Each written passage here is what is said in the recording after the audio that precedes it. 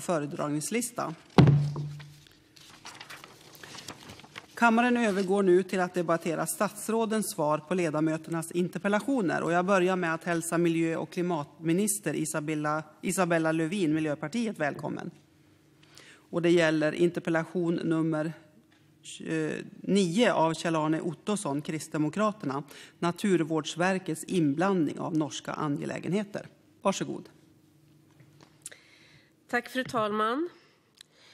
Fru talman. Kjell-Arne Ottosson har frågat mig om jag anser att ett eh, svenskt statligt verk ska gå in och försöka styra norsk politik. Frågan rör ett yttrande från Naturvårdsverket till fylkesmannen i inlandet där myndigheten anser att uttag inte bör ske av vargarna i Römskogsreviret som är klassat som ett gränsrevir mellan Sverige och Norge. I den av riksdagen antagna propositionen 2012-13:191 En hållbar rovdjurspolitik anges att Sverige ska uppnå och bibehålla en gynnsam bevarandestatus för rovdjursstammarna samtidigt som tamdjurshållning inte påtagligt försvåras och socioekonomisk hänsyn tas. Enligt propositionen ska referensvärdet för gynnsam bevarandestatus hos den svenska populationen vara 170 till 270 individer av vargar.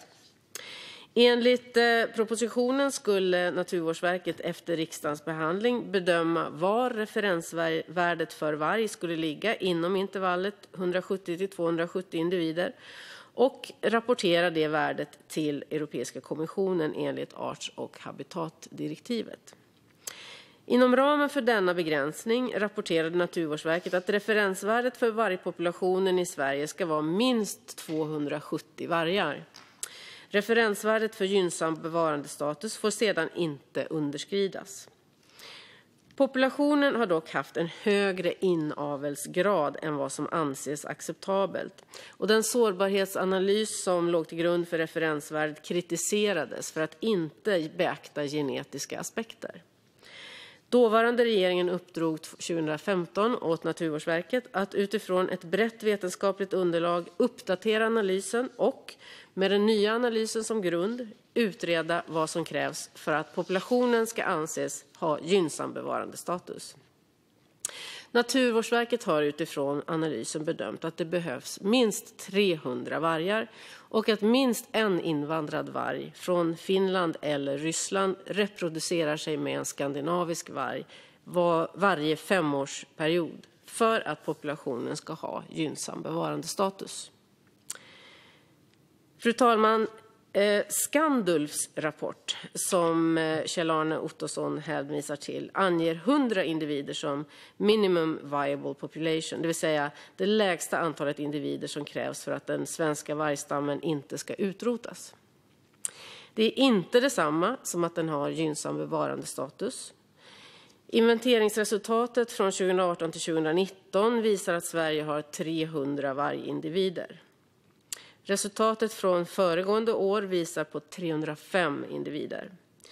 I dessa antal räknas Sveriges hälft av samtliga gränsrevir med Norge. Resultaten visar alltså att den svenska vargpopulationen är kritiskt nära att hamna under referensvärdet. Sveriges och Norges regeringar ingick en överenskommelse 2011 om förvaltning av genetiskt värdefulla vargar i den skandinaviska vargpopulationen med avsikt att kontinuerligt utveckla samarbetet om rovdjur. Eftersom Römskogsreviret i den senast fastställda inventeringsrapporten är klassat som delat mellan Sverige och Norge under inventeringssäsongen 2018-2019 meddelade fylkesmannen i inlandet Naturvårdsverket att man i Norge avsåg att införa jakt på reviret. Meddelandet gjordes i enlighet med den norsk-svenska överenskommelsen och norsk lagstiftning. I samband med detta bad fylkesmannen i inlandet om Naturvårdsverkets synpunkt på denna jakt. Naturvårdsverket lämnade då ett yttrande att jakt i detta gränsrevir är olyckligt ur ett svenskt perspektiv eftersom det riskerar försvåra möjligheten att bibehålla en gynnsam bevarandestatus för den svenska vargpopulationen. Naturvårdsverket har alltså agerat i enlighet med sitt uppdrag och den överenskommelse som finns mellan Sverige och Norge. Tack, fru talman. Tack så mycket. Och då går ordet till Kjell-Arne Ottosson, Kristdemokraterna.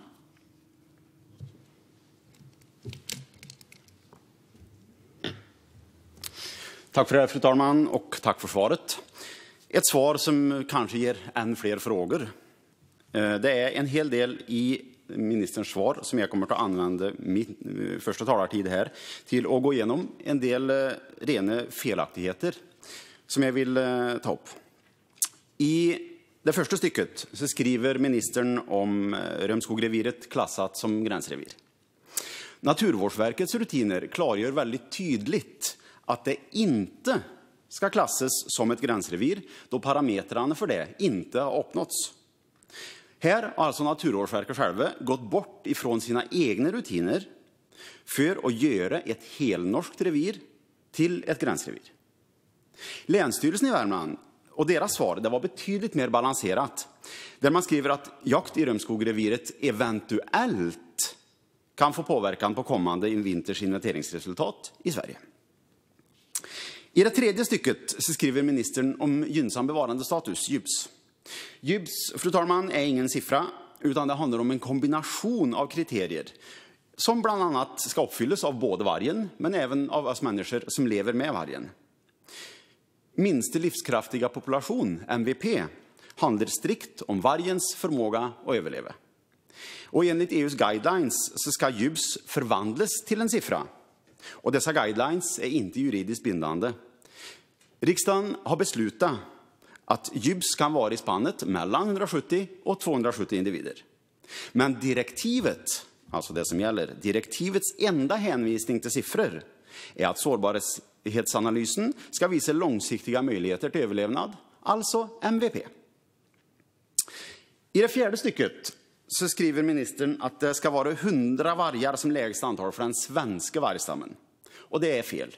Det finns ingen svensk vargstam för det första. Vi har en skandinavisk vargstam. Det är alla forskare helt eniga om. MVP är heller inget mått på när vargstammen kommer att dö ut. Alltså, vargstammen skulle klara sig om det är 93 individer eller 87 individer. MVP innebär att det är mindre än 10 risk för utdöende på 100 år.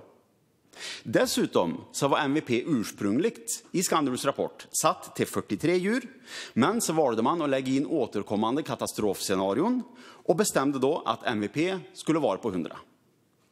SLU har även gjort studier på vad samma utgångspunkt, 100 djur, skulle ge för risk för eh, på då över 1000 år. Och de kom fram till att det var en risk för utdöende på bara några få promille. Å andra sidan, om GYBS på 300 samstämmer med en MVP på 100 så kan vi ta ut minst 80 vargar under vintern 2020, vilket eh, ju skulle vara fantastiskt bra både för vargens och för landsbygdens fortlevnad. I det femte stycket så hänvisar ministern till det så kallade statssekreteraravtalet som undertecknades 2011. Efter det att avtalet undertecknats så har Naturvårdsverket och Norska direktoratet för naturförvaltning tagit fram riktlinjer för genetiskt värdefulla vargar.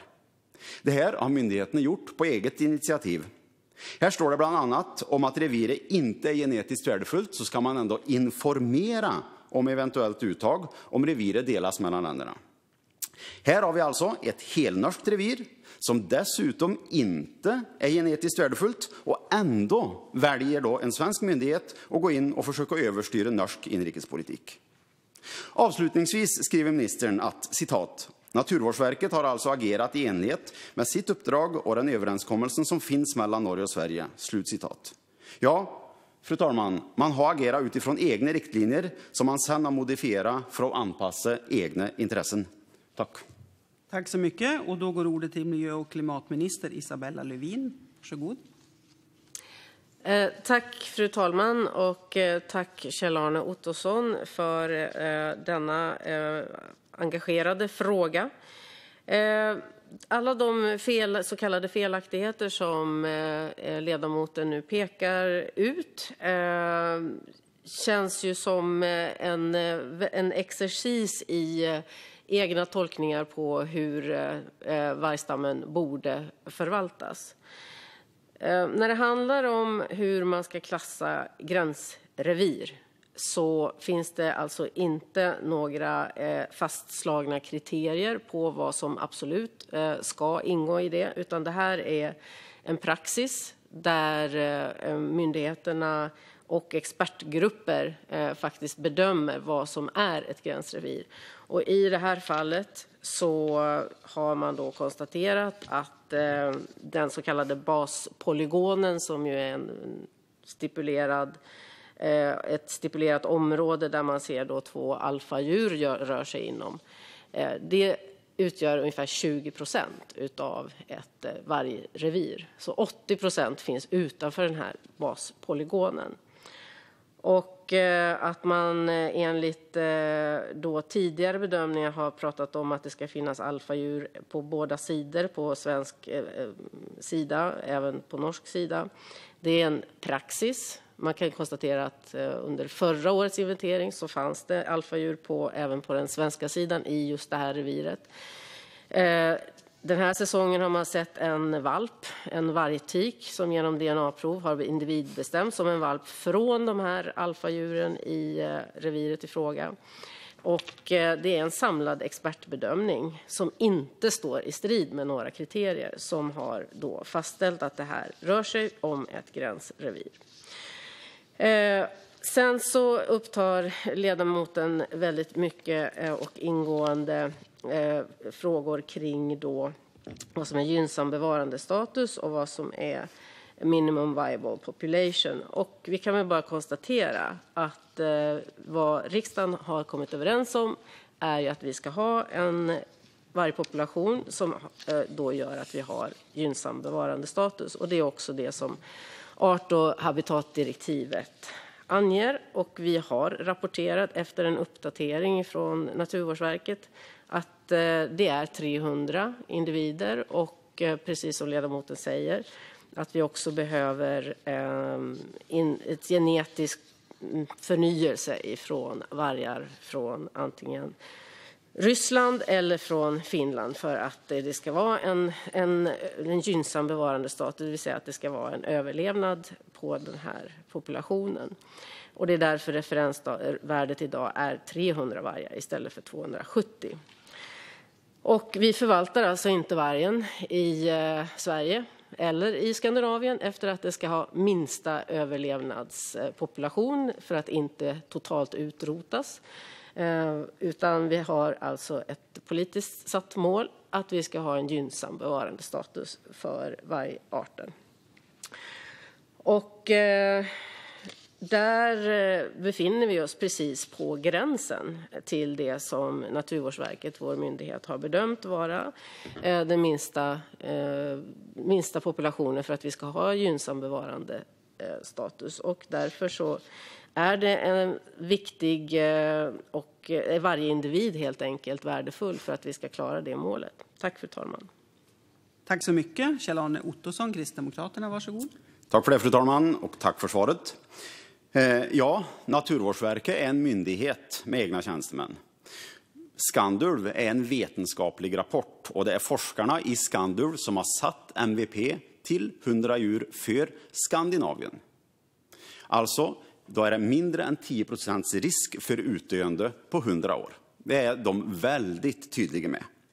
Eh, Ministern sa att det var exercis, i egna tolkningar. Ja, när det gäller kriterierna för gränsrevir så är det bara att gå in och läsa på Naturvårdsverkets egna kriterier. Så kan även ministern läsa vad som krävs av både DNA-träffar och av spår för att det ska kunna klassas som ett revir och som ett gränsrevir. Det är bara att gå in och läsa för det står där mycket tydligt. Dessutom nämner ministern att det är ett stipulerat område. Ja, det är ett stipulerat område. Alltså, för här har man då gått över på svensk sida fast att du inte hittar det som krävs för att reviret ska klassas som ett gränsrevir. Man har alltså gjort ett antagande. Och det här kunde vi stå och diskutera i evigheter. Men vi har dessutom en verklighet, Isabella Lövin. Rovdjursförvaltningen den har fallerat totalt och förtroende för den förda politiken och Naturvårdsverket det kan inte sjunka lägre. När vargen kom tillbaka så sa tjänstemän på Naturvårdsverket ja, låt det bli tio vargar, sen ska ni få börja och jaga. Sen ändrade man sig till låt det bli tio par.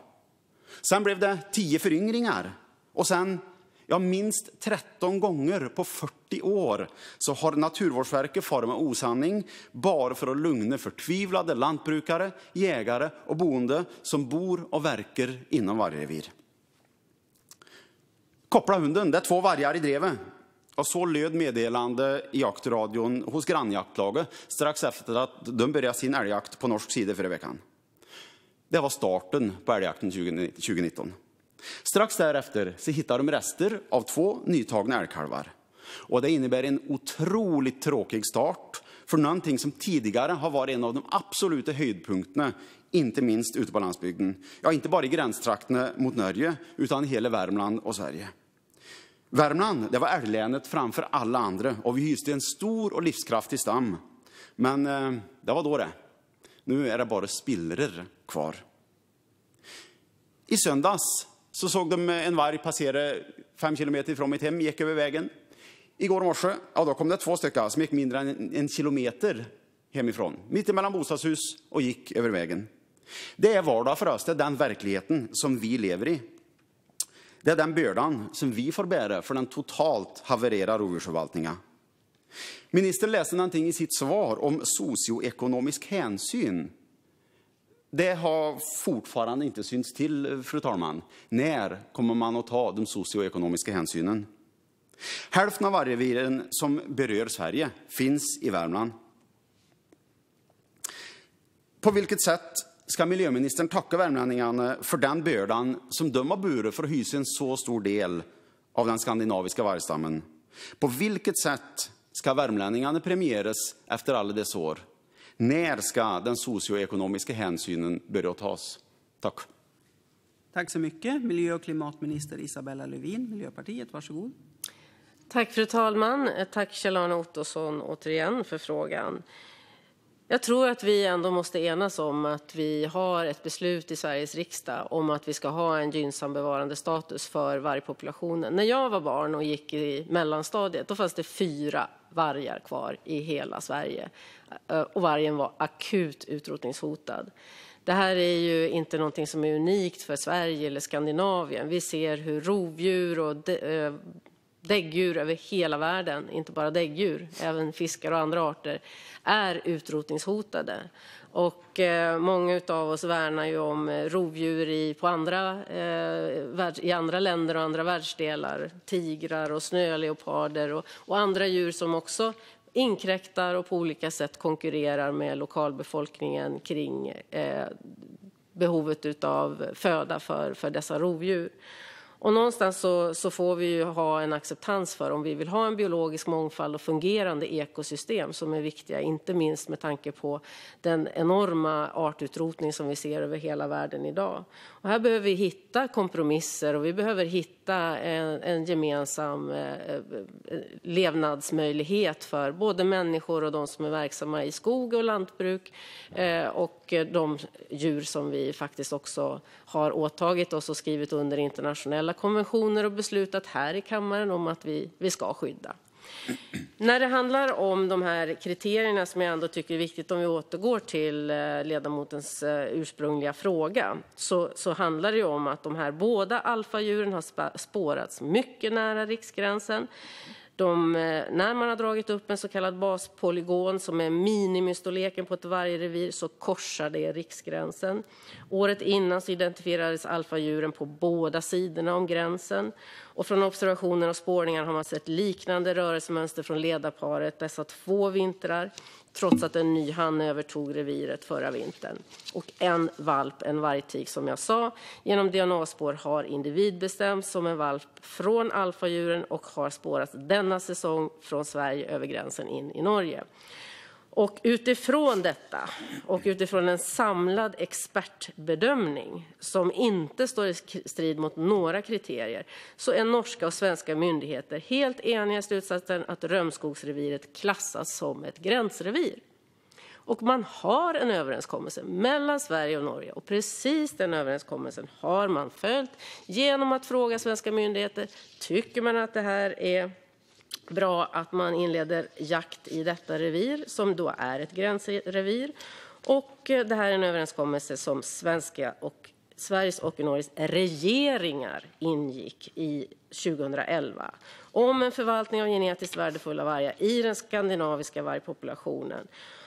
Man har alltså ställt en fråga till Sveriges myndigheter och de har svarat utifrån att vi nu har en vargpopulation som är precis på gränsen till det som har då klassats som gynnsam bevarandestatus och därför sagt nej, det här är inte, det vore olyckligt att eh, skjuta dessa vargar som ju då är både eh, Eh, svenska och norska enligt de definitioner som vi är överens om och som expertgruppen är överens om.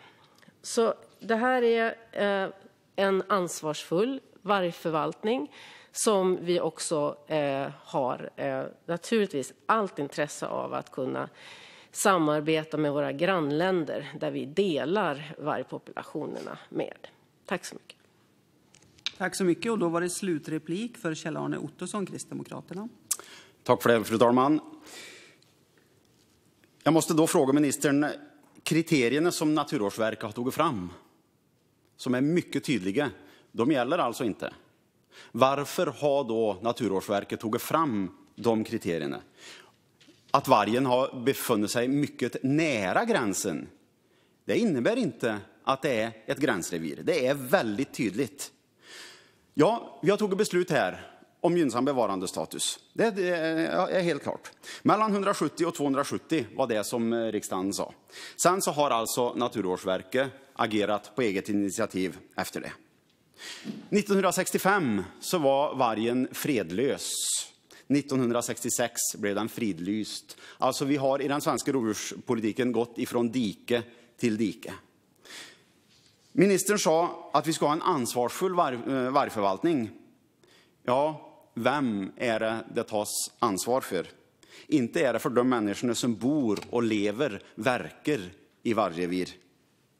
Och det jobbigaste, fru talman, det är när man driver med människors upplevda känslor och bara fnyser av det. Livskvaliteten för människorna på landsbygden som bor i vargrevir har sjunkit drastiskt. Det största fritidsintresset för många det är totalt förstört. Man vågar inte länge, längre ha småbarn ensam ute och leka. Folk är förtvivlade med den inslagna vägen och det kommer bara till att fortsätta med den politiken som regeringen nu fortfarande för. Värmland har knappt 50 procent av Sveriges vargstam på sin yta nu. Och vi blir inte lyssnade på, vi blir inte tagna på allvar. Och det, fru talman, är inte ansvarsfullt, varken för vargen eller för människan. För den som i slutändan kan råka mest illa ut, det är tyvärr vargen när inte regeringen tar sitt ansvar. Tack så mycket. Miljö och klimatminister Isabella Lövin, Miljöpartiet, slutreplik. Tack fru talman. Jo, regeringen tar verkligen den här frågan på allvar. Och eh, ledamoten och jag stod ju här i kammaren för, eh, jag tror det var mindre än en vecka sedan och eh, hade då en liten ordväxling kring frågan om skyddsjakt. Här finns ju en möjlighet att gå till Länsstyrelsen och påtala när det finns då vargar som, som hotar antingen boskap eller naturligtvis människor och eh, att man kan bedriva en skyddsjakt på det. Och det är ju någonting som är eh, en ansvarsfull vargförvaltning och att vi också naturligtvis inte kan ha ett läge där där vargar eller andra rovdjur hotar barn eller hotar egendom när man kan undvika det. Eh, och det här är ju, som alla förstår, en balansakt där vi också måste värna den biologiska mångfalden för efterkommande generationer. Och eh, där vi har fått uppleva eh, på ett väldigt dramatiskt sätt också att det faktiskt är så att vi har förmågan att totalt utrota djurarter och den skandinaviska vargen var mycket nära total utrotning som sagt var på, på 60 och början på 70-talet. Och vi har en förvaltning där vi säger att 300 eh, individer är eh, det som är gynnsam bevarandestatus, men vi behöver också en genetisk påfyllnad. Eh, och den, de kriterierna, jag vill gärna återkomma till det så, eftersom ledamoten upprepar det hela tiden, det är alltså inte fastslagna kriterier utan där är det en bedömning som också görs utifrån en expertgrupp. Och i det här fallet så var det en en expertgrupp som har då kommit fram till att det här ska ses som ett gränsrevir utifrån alla de parametrar som jag har redogjort för tidigare. Och, eh, och då har vår myndighet agerat helt i enlighet med den överenskommelse som finns med Norge. Och eh, i övrigt så ja, har jag inget att tillägga. Tack. Tack så mycket. Och debatten med anledning av interpellation nummer 9 av Kjell-Arne Ottosson, Kristdemokraterna, Naturvårdsverkets inblandning i norska angelägenheter är därmed avslutad.